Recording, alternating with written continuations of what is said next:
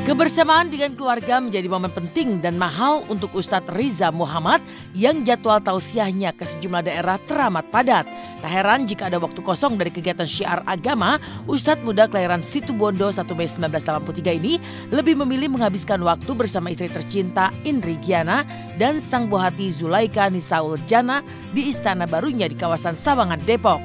Seperti terlihat kemarin saat Ustadz Riza dan Indri mengajak Zulaika bermain bersama di kamarnya yang lebih mirip istana bermain dibandingkan kamar tidur. Zulaika yang kini berusia 2 tahun 4 bulan tampak lucu dan menggemaskan. Ustadz Riza sendiri mengaku ia memang sengaja memberikan putrinya mainan-mainan yang syarat dengan unsur edukasi dan juga merangsang motorik sang buah hati. Assalamualaikum warahmatullahi wabarakatuh Pemirsa Intens. Hai apa kabar? Saya Riza Muhammad. Saya Regiana Jumpa lagi dengan quality time keluarga saya. Hari ini saya akan mengajak pemirsa Untuk lihat kesibukan Zulaika. Apa aja sih di rumah?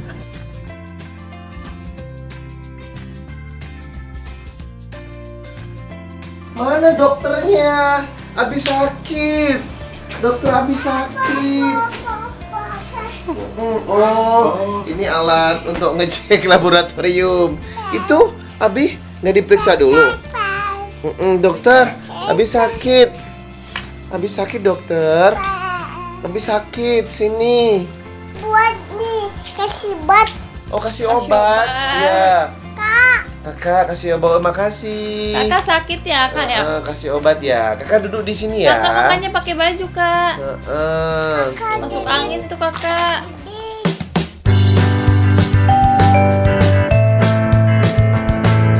Di saat asik bermain, ternyata waktu sholat isya telah tiba. Seketika Ustadz Riza dan Indri berhenti mengajak sang buah hati bermain.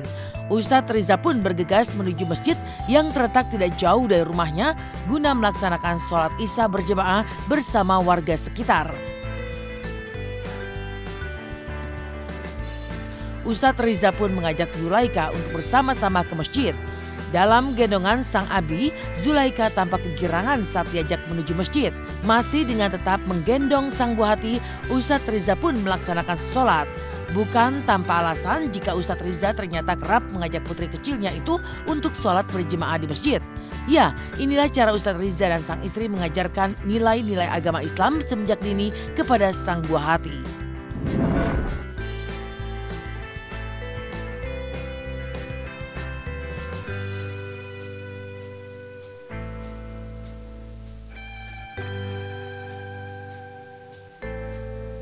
Sering banget. Dan nggak mau.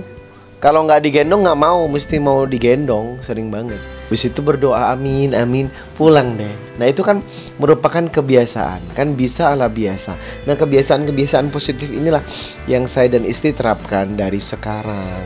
Malah kadang aku yang suka cemburu kalau misalnya dia uh, lagi kepingin sama abinya gitu. Tiba-tiba tumben aja kepingin sama abinya gendong abi gendong abi. Aku cemburu. Gitu.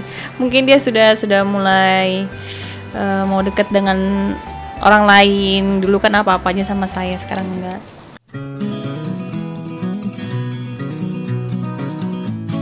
Tak hanya ahli dalam urusan agama dan mengurus keluarga, Ustadz Riza ternyata juga punya keahlian lain yang mengejutkan.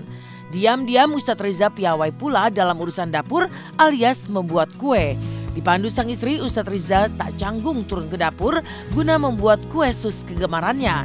Lihat saja kepiawaian Ustadz saat mencampur bahan-bahan, mengaduk adonan, serta membentuk kue sus di atas loyang. Sesekali Indri pun memuji serta menunjukkan kemesraannya kepada sang suami.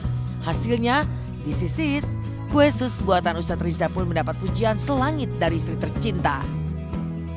Ini janji saya, pemirsa. Ada kamu. Nah, di sini ada banyak bahan-bahan memasak ini nih. air dengan susu Air dengan susu. Ini jadi langkah pertama susu yang dicampur dengan air. Saya masukkan mentega yang saya suka wangi.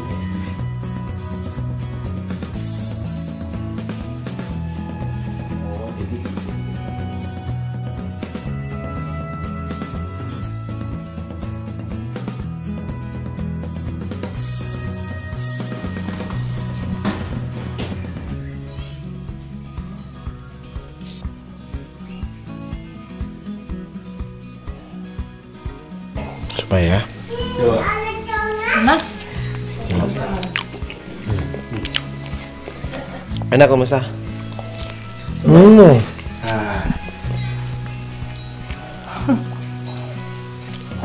Hmm. Itu suka yang coklat. Seru ya.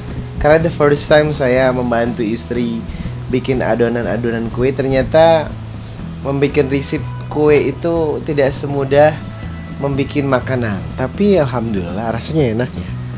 Karena kan ingredientnya sudah ditakar.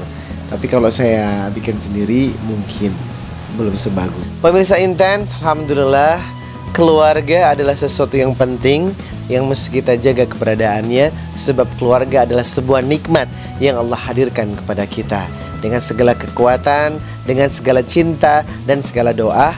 Mudah-mudahan keluarga kita menjadi keluarga yang sakinah, mawaddah, warahmah dan keluarga yang diridhoi Allah Subhanahu wa taala. Saya Riza Muhammad. Saya Indriana. Terima kasih. Assalamualaikum warahmatullahi wabarakatuh.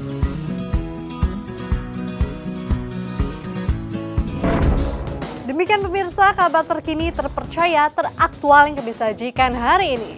Terus saksikan Intens pukul 10 waktu Indonesia Barat tentunya hanya di RCTI.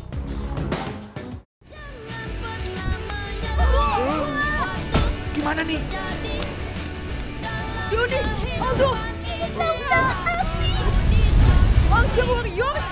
Itu setiap minggu jam 9 pagi hanya di RCTI.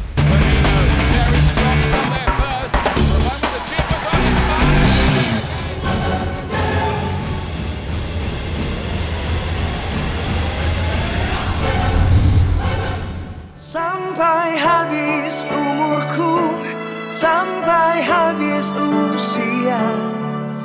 Maukah dirimu Jadi teman hidupku?